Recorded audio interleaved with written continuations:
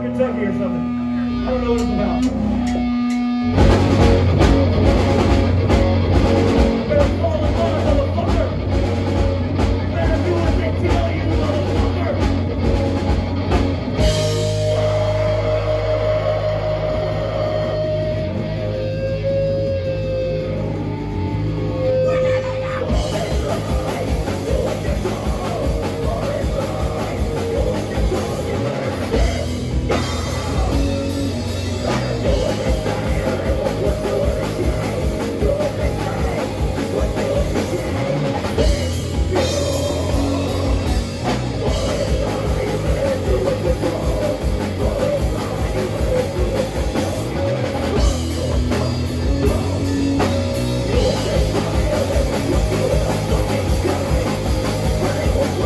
Fuck